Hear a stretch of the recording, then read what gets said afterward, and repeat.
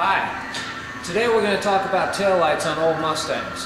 One of the problems with old Mustang taillights is they're just not bright enough. There's a solution for that.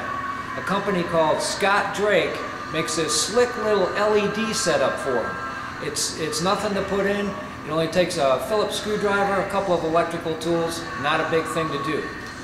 Move on in. Let me show you what I'm talking about. First things first. With a Phillips screwdriver, take the lens off and take the bezel off. Underneath that, what you'll see is the bulb. Take that out, and then the thing that holds the bulb will just pop right out of there. No big deal.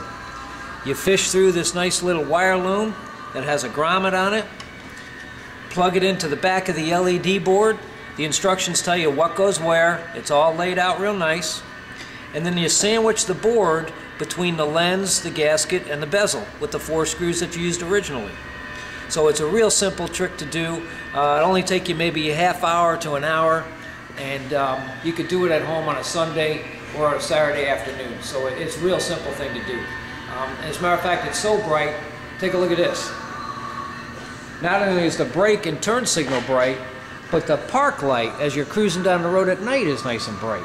So it's a real good solution. People can't miss you now, so you won't get rear-ended. Well, that's the tail light uh, situation that we got going around here. Scott Drake, good product, highly recommended. Uh, for more tips and more how-tos, go to my website, mustangrestoration.net, or if you're looking to buy or sell a Mustang, go to usedfordmustangsforsale.net. Good place to be. Very inexpensive to list your Mustang. It'll go as long as you sell it for one price and you can access all your pictures, change it around a little bit as things go by. So why don't you check that site out too. Till next time, see you then.